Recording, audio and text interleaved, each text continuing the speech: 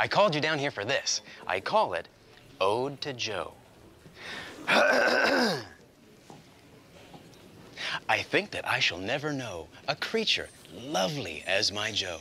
This morning's breath I smelled so sweet, with hints of cheese and last night's meat.